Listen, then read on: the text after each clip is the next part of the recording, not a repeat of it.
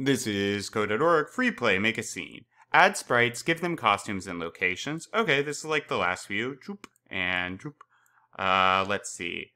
Here is a birdie and... Oh, mm. ooh, alien spaceship. Now I'm gonna click the pen to move this guy, maybe up here.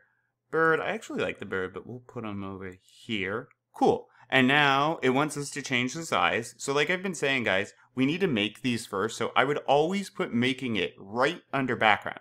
Code runs in order. As we know, we click run, this stuff happens. So after this is when we can change size or give behaviors. We just need to make them before we do any of that.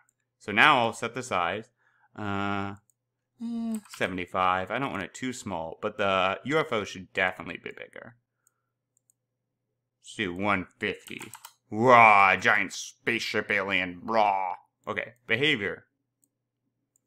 Behavior. And. Boop.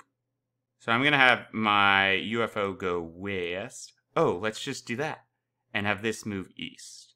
Now, I think the UFO won't be shaking because, you know, it's like super high technology, perfect balance. But our bird's to have a bit of a wobble. Ooh, wobbling. Cool. Awesome.